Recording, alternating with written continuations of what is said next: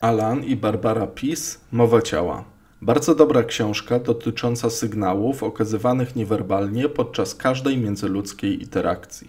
Fantastycznie wręcz wyjaśnia większość tych znaków, pokazuje również wiele międzykulturowych różnic.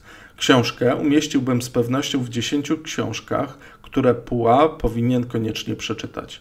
Po jej lekturze z łatwością odczytasz, bez rozmowy z nikim, wiele cennych informacji. Będziesz wiedział, kiedy dziewczyna, z którą rozmawiasz, przyjmuje postawę obronną, jak tę postawę zmienić, kiedy dziewczyna jest tobą zainteresowana, a kiedy nie.